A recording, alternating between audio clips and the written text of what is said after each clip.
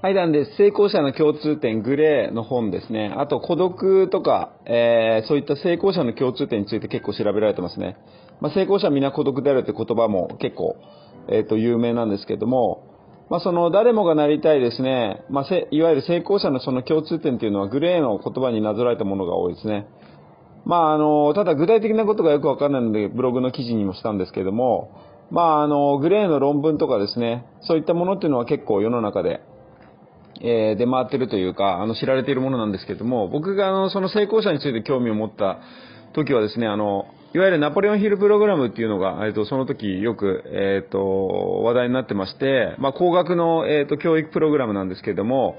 まあ、これをですね、えっ、と、とある知り合いから、えっ、と、営業されて手にしてしまったんですね。で、まあ、あの、成功者の共通点っていうのは、そのナポレオンヒルっていう人がいろいろなですね、デル、えっ、ー、と、アンドル・カーネギーとかですね、えっ、ー、と、フォードとかですね、まあ、有名な人にインタビューをして、その共通点をまとめ上げたものとして、ナポレオンヒルプログラムっていうのがあるんですけども、まあ、結構ここで語られているのは本当に大事なマインドの部分で、成功者の共通点っていうのは確かに、えっ、ー、と、あるんですね。ただですね、えっ、と、まあ、実際に具体的にどういうふうにしていったらいいのかわからないというかですね、やっぱりマインドの部分を語られているだけなので、えっ、ー、と、どういうふうに、えっ、ー、と、それを現実の社会に応用して、えっ、ー、と、実際に具体的にどうやって成功するかというのは大体書かれてないんですね。で、これはあの、成功者の本にも共通するところで、えっ、と、じゃあどうすればいいんだというところがわからないので、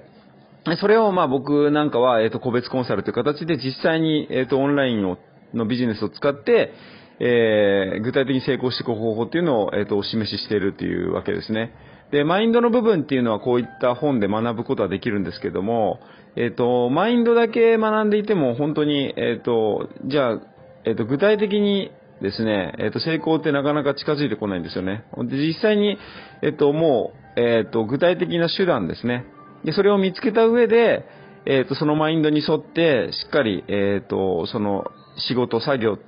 やるべきことを進めていくっていうのが正しいと思うんですよね。なので、えー、まあ、成功者の共通点っていうところっていうのは、えっ、ー、と、学びはあるんですけども、まあ、実際に行動することで全て分かってくると。